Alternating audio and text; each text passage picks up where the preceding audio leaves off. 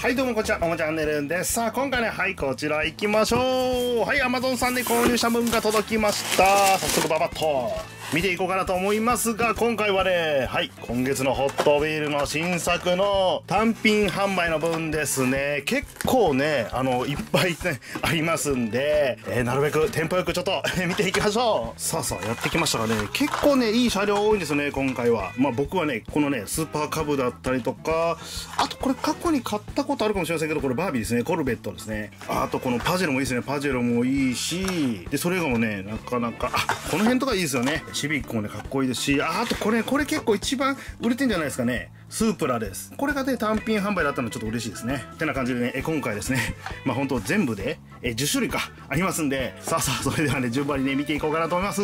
じゃあ、ちょっと気になるスープラから行きましょうか。さあさあ、それではね、行きましょう。まずね、1台目、82年のトヨタのスープラです。で、これね、あの、片目なんですね。ウィンクになってますね。めっちゃ可愛いです。えー、で、片目のさらにこれ半目になってるんですかね。リトラクタブルライトね。これどうなんでしょうね。おでもね、それがね、ミニカーになってね、登場してるんで。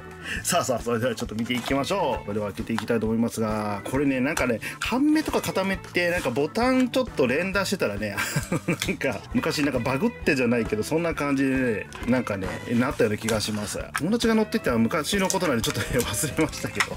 さあさあさあ、それではちょっと行きましょう。はい、まずね、スープラ。いや、いいですね。この赤と黒のね、ツートンカラーのスープラ、めちゃめちゃかっこいいですね。で、顔の部分ですが、こうなってますね。反対だけね、これね、ライトがね、出てる状態なんですけども、多分半目ですね。全開ではないとは思います。ちょっとこう塗装とか入れてね、仕上げちゃいたいですね。これ、いや、めっちゃ可愛いですね。で、これバンパーの部分は黒の小樹パーツ成型色になってますね。これは、えっと、あ、シャーシと一体ですね。で、ボディカラーは、えー赤のね、ソリッドカラーがメインで、側面にこのようなね、黒のデザインが入っているのね、形になっております。で、ホイールタイヤですね。こんな感じで、側面もね、なかなかまたかっこいいですね。いいですね、いいですね。で後ろのこのね、ガラスの形状とかもね、しっかりとできておりまして、で、テール周りもね、ほんとね、いい感じなんですよね。全部プリントなんですけども、ホットウィールのロゴに、このね、ライトとかもね、デザイン性ね、しっかりと再現されてて、ロゴ関係もちゃんとね、書いてあるんで、後ろ結構見応えがあります。ていうか、これ、予備欲しいな。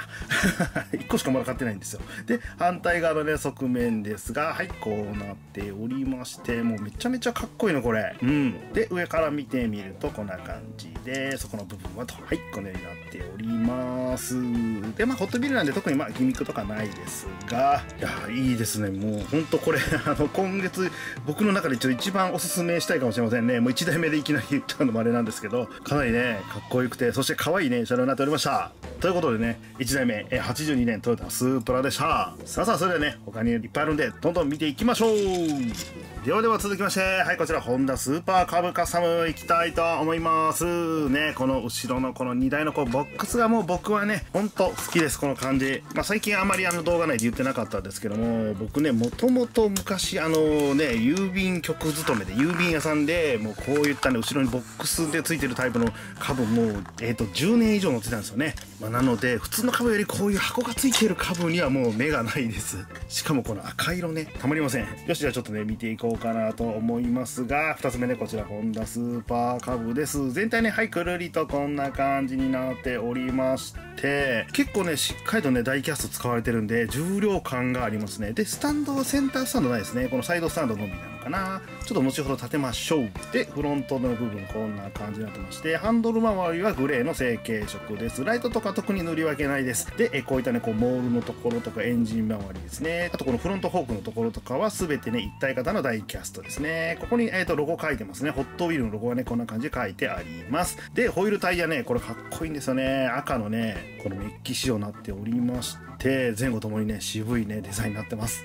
で、側面見ても、本当ね、この辺とかもね、結構ね、サスとか作りもね、しっかりとしてるんで、かっこよくて、で、シートと後ろの荷台とか、この辺は赤色の成型色なんですが、ここにもね、こう、ホンダのね、ロゴ、大きく書いてますね。で、ここ、あスーパーカブのロゴですかね。後で大きくして確認したいと思いますが、こんな感じで書いてあると。で、デザイン的には白のラインもこんな感じで2本入ってますね。で、後ろですが、こんな感じ。なんかこう、バツになってるんですけど、こんな感じのね、ボックスになってます。で、特ににレンズとか塗り分けがございません。で、反対側の側面ですが、はい、こちら側ね、大きなマフラーついてますね。さすがに僕が乗ってた頃の郵便局の株とかではないんですけど、この形状がもうほんと好きですね。スーパーカブっていうだけでも僕はもうはい 素敵だと思いますで上から見てみるとこうなっておりましてそこの部分はどう？はいこんな感じです。でこちらねセンタースタンドないんですがサイドスタンドがねこう出てる状態なのでこのようにね立ててよいしょディスプレイすることが可能となってます。フロントハンドルがちょっと動いたらよかったんですけどもさすがにそこまでのギミックはないですね、まあ、ただただこうやって飾るには本当かっこいいと思いますんでえぜひこれもね皆さん買ってみてください。株はもう僕の中でもかなりおすすめです。ということで2つ目。こちらホンダスーパーカブカスタムでした。ではね続いての車両行ってみましょう。さあそれでは続きましてこちらねホンダのシビックカスタムいきたいと思います。これは何仕様っていうんかなこれ。これもまたなんかホットウィールのロゴとか書いててかっこいいですね。さあさあそれではねこちらも開けていきましょう。これはあれですかねホットビールオリジナルのデザインになるんですかね。さあそれではちょっと行きましょうか。まずはい全体はねくるっとこんな感じになっております。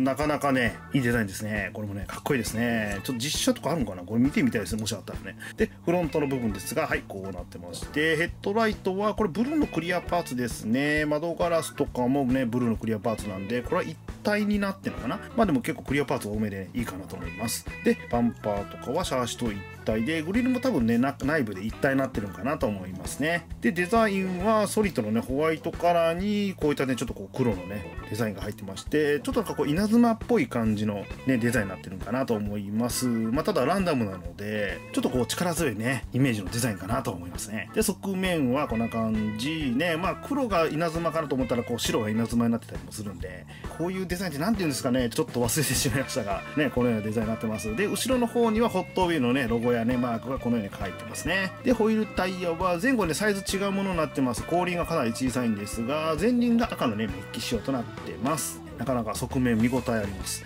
で後ろですがテール周りはシンプルですね。特にレンズとかの塗り分けとかはございません。で反対側の側面ですがはいこちら側も、まあ、先ほどの面反対とね同じような感じのデザインになっておりましてで上から見てみるとこんな感じでそこはねはいこのようになっております。でこちらもねまあ特にギミックとかはないんですがまあとにかくデザインに優れたね素敵なね車になってたんじゃないかなと思います。まあ好みがあの出そうなところでもあるような気もするんでまあ割と僕好みのね車両なんですが皆さんどうでしょうか。ね結構かっこいいと思うんですけどね。気になった方はぜひね手にしてみてください。ださい。ということでねはいこちらですね。3つ目ホンダシビックカスタムでした。ではでは続いての車両行ってみましょう。では4つ目これ気になるんでいきましょうか。日産マキシマドリフトか行きたいと思います。ではでは開けていきましょうか。マキシマドリフトってえーとこれまでに何種類ぐらい出てるんですかね。僕は多分ね2種類くらい買ったような記憶あるんですけど今回もまたなんかかっこいいデザインに仕上がってそうな感じですね。さあではねちょっと見ていこうかなと思いますが。はい全体ねまずねこうなっておりまして結構ねこう色とかねあとねこのパーツに使われてるメッキとかもね面積範囲広いんでまあなかなかちょっとこうコストがかかってるねしっかりしたね車両になってるんじゃないかなと。でフロントの部分ですがはいこうなってますね。バンパーはシルバーメッキで下のこのスポイラーはシャーシと一体ですがかなりもうほんとスレスレですね。めちゃめちゃ低い。で今回のこのデザインですがブルーのソリッドカラーにこれはホットビルのオリジナルですかね。ロゴとかもね結構入っておりまして真ん中にこれ赤いねラインですね、まあ、ラインというかちょっとこうこちらも稲妻みたいなねちょっとこういったねデザインになってるんですが2本入ってます。でボンネットの部分ですね。こちらエンジンルーム見えるんですよ。クリアパーツで見えるんですが中がね全部ねメッキ仕上げになってますね。こんな感じでギラギラ光っててね。これ見事ありますね。であとこの内装も多分一体のパーツなのでこの辺とかも全てねメッキなのでこういう作りねなんかホットウィールらしいというかねもうこのギラギラ感が僕結構好きです。はい いいといいかなと思います。で側面ですがはいこちらこうなってますね。真ん中にねこの赤いラインこちらも入ってまして後ろにこれ星書かれてます。でその下ですがホットウィールのロゴとか日産のロゴですね。このように入ってますね。でホイールは白の塗装仕上げでこのようなねデザインになってます。でサイドのこのスポイラーもあってこれねほんとスレスレ。で後ろですがテール周りはこのようになってまして後ろは特にレンズとかの塗り分けはこちらもないですね。で反対側の側面も赤いねラインが入っててロゴ関係も入ってます。で上から見てみるとはいこんな感じ。サンルーフもクリアパーツになってますね。でそこはと。はいこんな感じになってます。でこちらもね、まあ、特にギミックないんですがはい手殺しできるんですけどもいやなかなかもうギリギリよスレスレのねまたかっこいいね車両になっておりました。ということではいこちらねこれも結構僕ねこのブルーのはっきりしたこう色合いとかデザイン好きですね。ここちらね日産マキシマドリフトカーでした。内装のメッキパーツも見応えたっぷりです。これもかっこよかったですね。さあさあそれではね続いての車両行ってみましょう。さあではでは続いて5つ目。こちらもねめっちゃ可愛いんでね行きましょう。70年のダッジチャージャーです。ワイルドスピードにもね登場するね。こちらの車両がねトゥーンドシリーズですね。これまた可愛いね仕上がりになってると思いますねで。は行きましょう。このトゥーンドシリーズね結構僕あの好きでこのディフォルメカーがまた何とも言えないね可愛さになってるんじゃないかなと思いますんで今回もね楽しんでいきたいと思います。いいですね。もうめちゃめちゃこのね手乗り感というかまあミニカー全部手乗りなんですけどもよりこのねこうディフォルメされたねこのシリーズほんと可愛くてねなんでしょう所有欲をね満たされるんですよ。これはこれでね。でちょっと細かくいきますがフロントね顔こんな感じですね。バンパーとあとエンジンのところですね。こちらメッキ仕上げになってますね。であの内装もね多分メッキなんですよね。ちょっとねスモークかかってるんで確認しにくいんですけどちょっとギラギラしてるんでメッキだと思います。でボディカラー自体はブラックのソリッドカラーシール決まってますね。ザ・ダッチチャージャーって感じですね。何言ってんでしょうね僕。ザ・ダッチチャージャーってなんだ？で側面ですがはいこのようになってましてドアノブはこちらね塗装ですね。はいこんな感じで入ってます。でホイールタイヤはこのようにねシルバーメッキ仕上げになってます。このサイズ感もたまりません。バランスがねいいと思います。とても可愛いですね。で後ろですがはいテールレンズ周りもシルバーメッキですね。で特に塗装とかは入ってないですね。ナンバーもメッキです。で反対側の側面ですがはいこちら側もねとてもね可愛いフォルムになっておりましてで上から見てみるとはいこんな感じでそこはねはいこのようになっております。でこちらもね、まあ、特にギミックないんですがいやこのシリーズも本当可愛いんでね今後もどんどんこうちょっとディフォルメ化してほしいかなとはい。思っちゃってて面白いですね。ということではいこちらですね。ワイルドスピードよりね70年のダッチチャージャーでした。さあさあそれでは続いての車両行ってみましょう。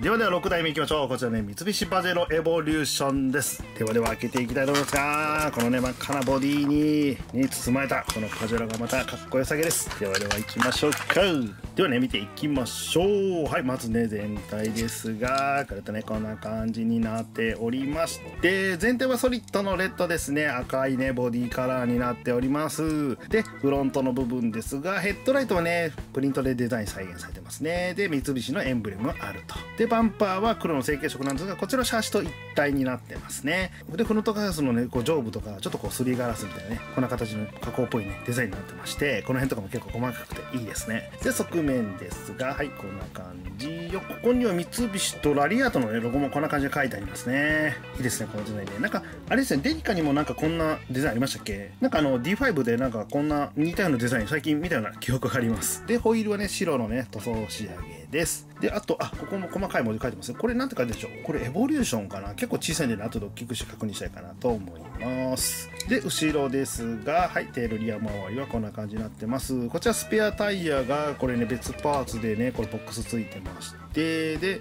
あと特に他に塗り分けとかロゴとかそういったものはないですね。で反対側の側面ですがはいこちら側もこんな感じのデザインで。上から見てみるとはいルーフねこうなってまして。そこはねはいこんな感じになってます。でこちらもまあ特にギミックないんですがなかなかね本当ラリーアウトらしいっていうとどうなんでしょう。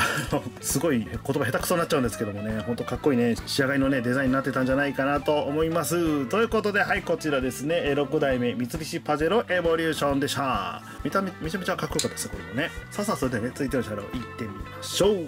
では続きましてこちら7代目 BMW507 行きたいと思います。はいこちらですね。ちょっと車両のことがわからないんで軽くね調べてはね見たんですけどもあれですねなんかエルビス・プレスリーが乗ってたんですかね。兵役中になんか買ったか買ってないかみたいなそんなことが書いてあったんでおなかなかまた古い渋い車両ですねこれ。で色もねなんかねこの赤色だったみたいなんですけどもさあさあそれでちょっとね見ていこうかなと思いますがはいまずね全体はこれでねこんな感じになっておりましていいですね実写とかこれ見てみたいですね。めちゃめちゃこの赤色かっこいいですね。まあ本物はねもっとちょっと違うオーラ絶対出てるんですけどもまあホットウィールでもねそのかっこよさこう堪能できる感じですね。でヘッドライトとかはねちょっとね特に何もないんでこの辺とかはプリントで入っててほしいかなと思いました。でグリル周りバンパーはシルバーメッキでこちら BMW のねエンブレムがあります。でここのボンネットのここのデザインですかね。ここもね仕方再現されてて。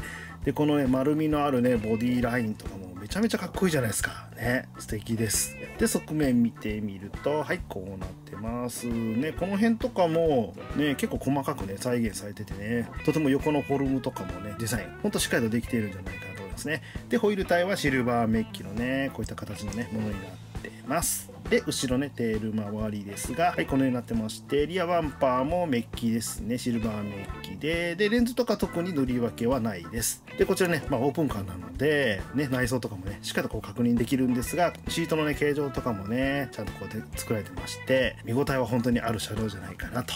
で反対のね側面ですがはいこちら側もねしっかりとねできてます。で上から見てみるとはいこんな感じでそこの部分はとこちらもね白メッキはいこんな感じになってますでこの車両まあ特にギミックはないんですがいやなかなかねこのレトロ感あふれるというか本当にこんなかっこいいね車にエルビス・プレスリーが乗ってたらねいやさらにねちょっと映えるんじゃないかなともう僕はもうそんな感じで、えー、単純な思いですが思っちゃったりもします。これ僕が乗ったらめっちゃくちゃ変なんでしょうね。とそういう自分の姿もね想像しちゃうんですけど。いやでもなんか一回はちょっとなんかこういうのも乗ってみたいですね。めちゃめちゃねかっこいい車両になっておりました。ということでこちらね7代目 BMW507 でした。さあさあそれではね続いての車両行ってみましょう。ではでは続きまして8代目これ行きましょう。1956年のコルベットですね。でこちらね、えー、バービー・ザ・ムービーってなっておりまして。ではちょっと行きたいと思いますが、えー、これがバービーの映画に出てくるんですかね。ちょっと作品を見たことないので僕何とも言えないんですけども。まあ色からしてねちょっとこう可愛い感じも、ま、めっちゃバービーが乗ってる感はあるんですけどね。いやでも本当可愛いですね。でちょっとね見ていこうかなと思いますがはいまずね全体ねこのようになってましてあのピカピカ光ってるね車に一瞬ちょっと思ってたところあるんですけどもボディの仕上げ自体は艶消し系なんですよね。こんな感じのねピンクの艶消しになってるんですよ。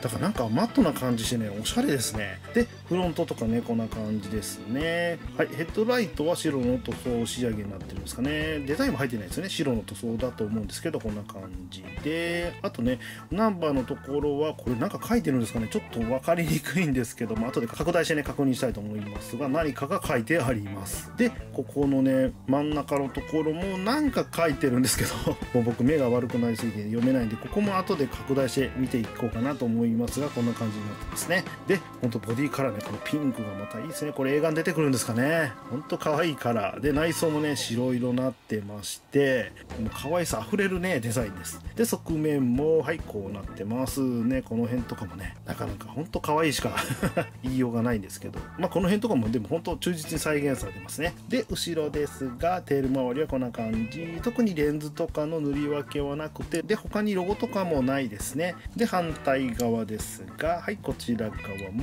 こうなってましてで上から見てみるとはいこんな感じです。そこの部分はとはいこのようになっております。で、こちらもね、まあ、特にギミックとかないんですが、いや、まあ、とにかくデザインがめちゃめちゃ可愛くて、ちょっとあの、映画にどんな感じで登場するのか、あの、映画が逆に気になってしまうような、はい、そんな感じのね、仕上がりになってたんじゃないかなと思います。えいや、でも、バービーもなかなかおしゃれで、いい車乗ってますね。はい、ということで、こちらね、8代目、バービーザ・ムービー出てくる1956年のコルベットでした。さあさあ、それでは、ね、続いての車両行ってみましょう。では続きまして9代目ポルシェ 911GT3 いきたいと思います。ではでは開けていきましょうか。まあ911もね結構ねほんとこれまでに何度かね手にはしてるんですけどこのデザインはどうでしょう？ちょっとこれまでねどんなデザインをね手にしてきたかっていうのがね全部が全部覚えてないんですけども多分この赤と黒は初めてじゃないかなと思います。僕の中でね。で細かくいきましょうかね。フロントね顔こんな感じです。ヘッドライトはこちらはクリアパーツなんですかね。このようになってましてうっすら中が見えるんですけどちょっと見えますかね。多分確認しにくいと思いますが、ね、クリアパーツになってます。で真ん中にはポルチェのエンブレムでフロントバンパー周りはこんな感じですね。これはシャーシと一体と。でボディカラーが赤のソリッドカラーにボンネットとルーフの部分にかけてえ黒のね太いラインが2本で内側に金のね細いラインが入ってます、まあ、なかなかこれもかっこいいデザインかなと思います。で側面ですがこんな感じ。足元の金ホイールいいですね。この金メッキが輝いてて。これがまた映えますね。赤に金色って結構合いますね。このバランス僕嫌いじゃないですよ。この感じも本当いいですね。で後ろですが、はい、テール周りですね。こんな感じ。レンズとかあとねロゴとかもね、まあ、全てこのようにねデザインねプリントでねしっかりと再現されてまして。でナンバーのところもちゃんとね記載があります。でリアウィングはこちらはねボディと一体のねダイキャスト製となってますね。で反対側のね側面ですがはいこちら側もね金メッキホイールを生えますね。で上から見てみるとはいこうなっていまして。でそこの部分はと。はいこんな感じです。でこちらもまあ特にねギミックとかないんですがねこちらねポシ 911GT3 でしたけどもまあいろんなねバリエーションねこれまで手にしてきてはいると思うんですけども今回もねかっこいいねデザインに仕上がってたんじゃないかなと思います。ねかっこいい言い過ぎですね。でもかっこいいもんかっこいいんでね。はい。これもね素敵な車両になっておりました。さあさあそれではね続いての車両行ってみましょう。さあさあそれではね続きましてラストねこれ10代目松田 787B いきたいと思います。では開けていきましょう。最後に回したからって別にあのね嫌いじゃないですよ。嫌いじゃないんですけどなんかこれが一番最後になっちゃいましたが。ではでは行きましょうか。787B ってこの車両の名前聞くとあれですね。ちょっとあのルマンのあの24時間レースをちょっと思い出すんですけどもこのデザインでしたっけ？ちょっと違いますよね。このデザインではなかったと思うんですけどもなんか印象はねルマンの印象があります。でフロントですね。細かく見ていきましょうか。はいこんな感じですね。ヘッドライトとかロゴとか、まあ、この辺は全てこうプリントですね。絶景ナンバーもしっかりと入ってましてまあ、顔つきはね結構しっかりとねいい感じでできてるんじゃないかなと思いますね。でベースのカラーが結構深みのあるこれ赤色なんですかね。まあ茶系に近いような感じなんですけど塗装の仕上がりは結構美しいですね。でボディの形状がね本当にあの細かくねできてるんでなかなかね見応えがありますね。であイヤーウィングにグッドイヤーのねこのロゴもね書いてあります。うんかっこいいですね。で窓ガラスとかも結構綺麗なねこうクリアパーツがね入ってまして本当あのなかなか作り込まれたね車両になってるんじゃないかなと思います。で側面ですがはいこんな感じですね、まあ、前後のねホイールは違うんですけどもこのようにね前は白で後ろはねグレーのね塗装仕上げになってます。で絶景ナンバーとかデザインですね。でロゴとかもねこちらしっかりとねプリントでね全て入っておりまして。でこのこのシルエットも本当めちゃめちゃかっこいい。で後ろですがはいこんな感じです。大きなリアウィングもボディとね一体成形のねしっかりとしたねダイキャスト製になってます。で反対側の側面ですがはいこちら側もこんな感じのデザインになっておりまして。